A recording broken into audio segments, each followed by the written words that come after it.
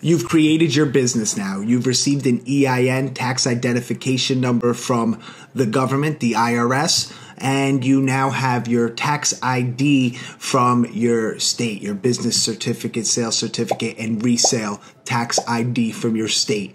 You're now ready to create your account on Amazon.com.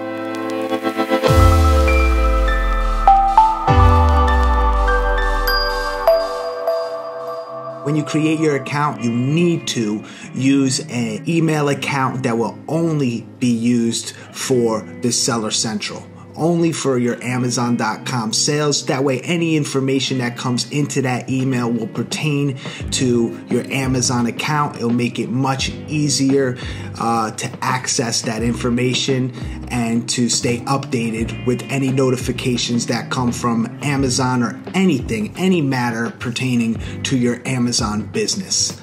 So let's get into it. Okay, we're now ready to create our Amazon seller account.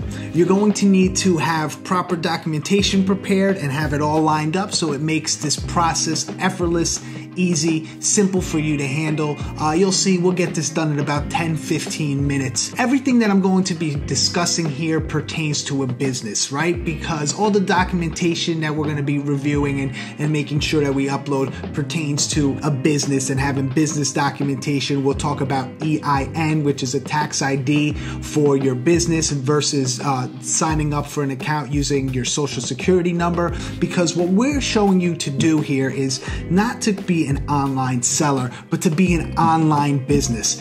And eventually your business, you will not no longer be an operator, meaning you have to be there day to day, but you'll be an owner. You see, I'm able to be in here right now talking with you while the rest of my business is operating, it's working, it's growing larger than it's ever been. Do I handle a lot of day to day operations? Yes, but that's because I love to, not because I have to. I can step away for a week, two weeks, three weeks, and the business will continue to grow. This is the systems that we're gonna show you to put in place so you can get to that same level. So, with that being said, everything that I'm going to be talking about here is about preparing the business documentation in order to register a seller account on Amazon. And plus, the benefits of selling on Amazon and having a business is all the expenses you could write off, like the miles, like the supplies that you're going to be purchasing. You can't write those off as an individual, but you can write them off as a business.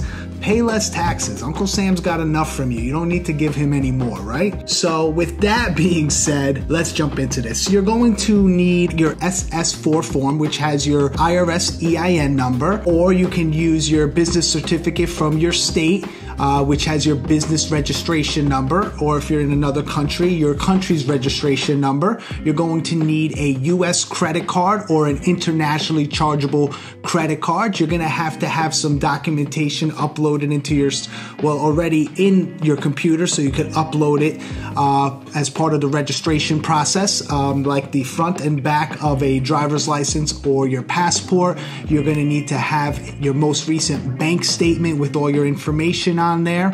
And then, of course, you're to have to have the regular stuff like your business name, the address of your business, uh, your own uh, personal address where you're located, and some small uh, information about your business, like if you if you're the beneficiary owner, or and if there's any other partners that are part of that business. Once you have all that lined up, we're ready to go. We'll get this done in 10 to 15 minutes. So let's jump in. We're going to go to sell.amazon.com and once we're there, we're going to click sign up to begin the process.